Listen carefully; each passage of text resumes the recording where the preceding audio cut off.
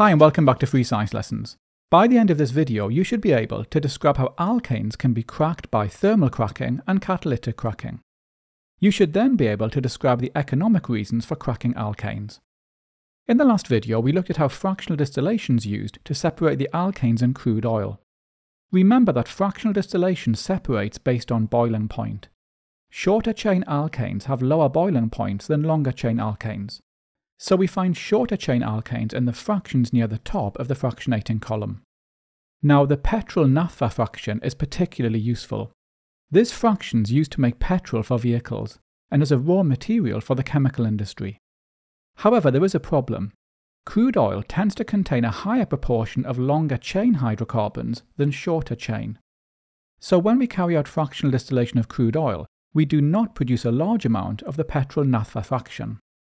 In contrast, we produce more of the longer chain fractions, which are less in demand.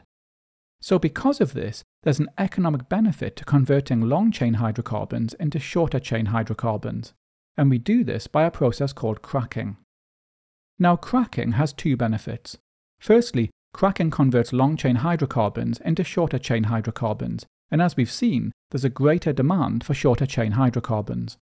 Secondly, as well as producing alkanes, Cracking also produces alkenes. And unlike alkanes, alkenes are highly reactive molecules. Alkenes are a major feedstock or raw material for the chemical industry and are used to make a range of products including polymers. Now there are several ways to carry out cracking. Two methods are thermal cracking and catalytic cracking, and you should be able to describe the conditions for these. We're going to start with thermal cracking. Thermal cracking requires both a high temperature and a high pressure. The temperature ranges from around 450 degrees Celsius to 900 degrees Celsius, and the pressure is around 70 atmospheres. In thermal cracking, long chain alkanes form both shorter chain alkanes and alkenes, and hydrogen can also be one of the products. So the products I'm showing you here are examples of what we could form. However, I should point out that the specific products depend on the exact conditions. Now, the benefit of thermal cracking is that we make a high percentage of alkenes in the product, and as we've seen, alkenes are very useful molecules due to their high reactivity.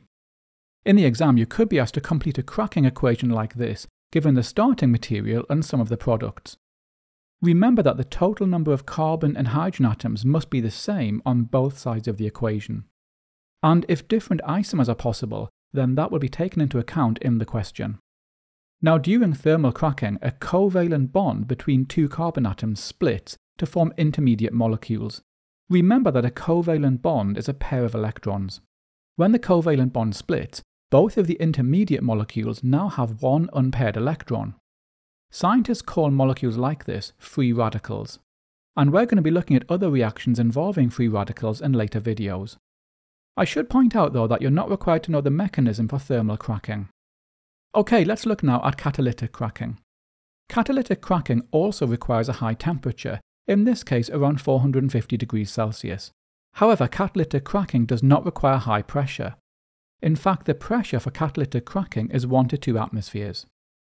Catalytic cracking uses a zeolite catalyst, which contains a mixture of aluminium oxide and silicon dioxide. Zeolite has a large surface area, which helps to make it an effective catalyst. Now, when a long chain alkane undergoes catalytic cracking, the products are often branched chain alkanes. And branched chain alkanes are especially useful for petrol, as they combust very efficiently. Catalytic cracking can also produce cyclic alkanes and aromatic hydrocarbons such as benzene. Okay, so hopefully now you can describe thermal cracking and catalytic cracking.